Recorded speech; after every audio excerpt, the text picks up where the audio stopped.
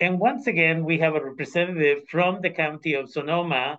Ms. Sylvia Lemus is not here today, but Gilbert is here to provide us with information about COVID and the vaccines. Thank you, Gilbert, for making the time and being with us. What information do you have for us this week? Uh, well, thank you, Rafael, for having me here today.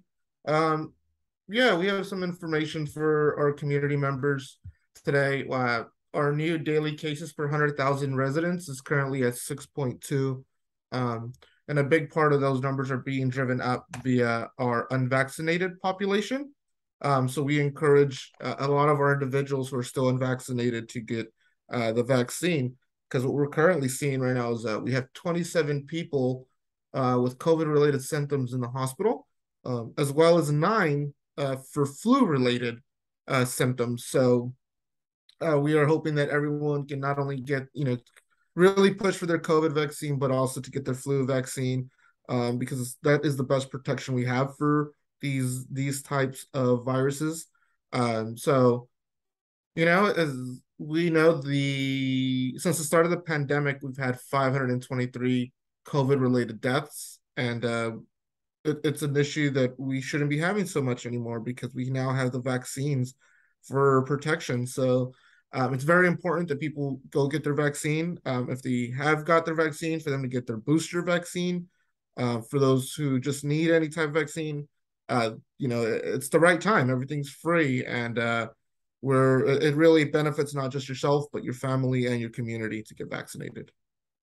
Definitely, unless we continue to get vaccinated, many individuals will continue to allow the virus to continue to change and evolve. And as a result of that, um, more lives will be lost. So, a couple of weeks ago or last week, I shared the data among ethnic groups. Uh, Latinx are still one of the groups, uh, highest groups not vaccinated. And then, in regards to the age groups, six months to two years or three years, I think, is the highest number of people not vaccinated. And then uh, teenagers uh, coming into adulthood is the other group not vaccinated in general within the community. And so, what it seems like, at least within some groups, including the Latinx community, many individuals are still believing different lies that are being presented online and they are vaccinated because maybe their job requires to, requires them to be vaccinated, but they're not vaccinating the children. And so the parents may be protected, but they may be picking up the um, virus somewhere else and then bringing it home. So it's essential that we pay attention to this, the fact that we may be putting our kids at risk. And so there are vaccines, the vaccines are free. Uh, can you tell us where people can go find out about locations and times and everything else? Yeah, of course. So you can still get your there's there's still sites in Roseland and the Rohnert Park that still offer vaccines. They also offer boosters and testing still for those who require testing. Um, you can also go on to socoemergency.org or to myturn.ca.gov uh, to make an appointment um, as well as your local pharmacies uh, like CVS and Safeway. They also offer the vaccine, the boosters, and your flu shot at no cost. So uh, we're trying to make it as available as possible for individuals, and we hope that they can get out there to get vaccinated. And as a reminder, the best uh, three ways of making sure that you don't get COVID one, get the vaccine, two, wash your hands on a regular basis, especially if you're out and about. And then three, wear your mask again, many individuals like myself, uh, we wear our mask. We walk into a store, we wear our mask. We go to a restaurant, we wear our mask until the food comes to us. And then after we eat, if we decide that we're going to stay there and keep chit chatting with people, uh, then I put my mask on. And this way we lower the amount of risk of infection. So we want to make sure that our community is aware of this because it is essential. This is how you stay safe. Teach your children the benefits of, again, uh, washing their hands. And if they are in an area like a school where they are leaving the classroom um, and, you know, they don't have time to go and wash their hands, a little bit of hand sanitizer. That way we don't pick up germs here and there. And this helps with both things, including the mask, It helps with COVID, but it also helps with the flu. And the same thing with washing your hands, it helps with the flu. And what did we see before everybody took off their masks?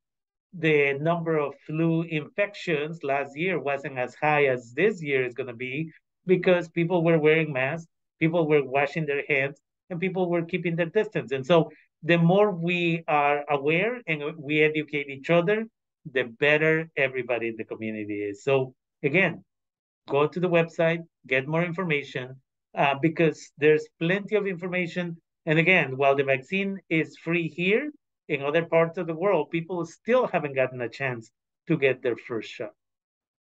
What other information do you have for us? Yeah. Um, we also want to remind people that uh, tomorrow at 3.30 we'll be having a webinar um, that'll go over safety communications.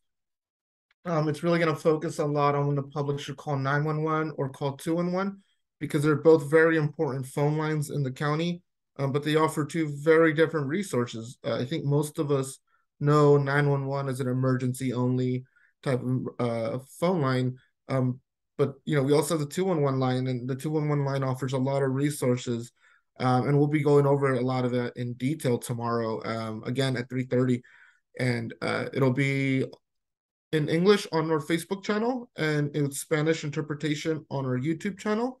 And then we don't want any information to get lost uh, throughout that, so there will be an all Spanish broadcast on Monday. Um, it'll be posted to our Facebook channel. And then uh, lastly, uh, voting centers are open. Um, there's currently 31 voting centers open throughout the county, and they're open from 9 a.m. to 5 p.m. Um, and then on election day, November 8th, uh, the centers will be open from 7 a.m. to 8 p.m. Um, and at all these sites, uh, those who need help with Spanish, uh, there, will be Spanish assistance on every at every site and location. So we really want people to come out and vote, and uh, you know, it's it's one of the best things that you can do if you want to see any type of changes or whatever you'd like. You know, voting is is it's a fundamental right that I think a lot of people don't realize how lucky we are to have. So please go out and vote. So this is just a reminder that if you can vote, you should vote. Um, and what we keep telling people is California is its own unique country. And the reason is that California has access to the ocean, we have Mexico, and we share uh, our space with other states. It's different from any other state in the nation, really, because a lot of benefits have been provided and have been earned and have been fought for for our undocumented community, whether it is a college education, driver license, and Medi-Cal are just examples of this. And as a result of that, our undocumented community has given to the state. They paid billions of dollars in taxes, and I could go on and on. If you are interested in protecting the interests of the community, this time when you vote in the midterms, often people just ignore the midterms because they say nothing is going to change. In California, there is this conflict that people are really not talking about, and we need to become aware of it. There are many attempts to remove members of the assembly, the state senate, and obviously the governor. And the intent here is to go backwards and eliminate driver license for undocumented immigrants. Why would we want driver license for undocumented immigrants? Because then they can get insurance, and if they have a car accident, their insurance will take care of your vehicle. Simple as that, right?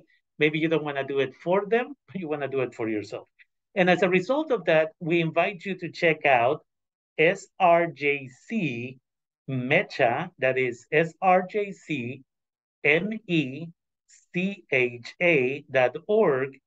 And this is an organization in Sonoma County that advocates for equity, led by students.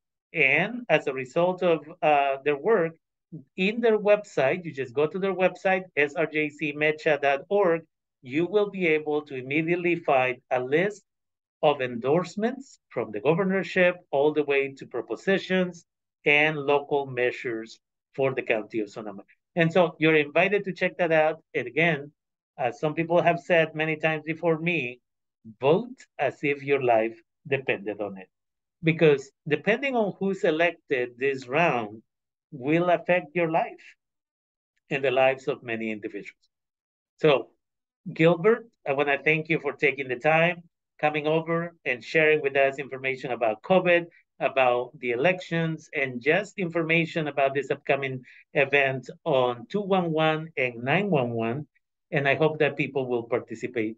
And I look forward to having another conversation with you in the very near future. Thank you for taking the time. Thank you for having me on. Hope everyone has a good night. Bye bye. Bye bye.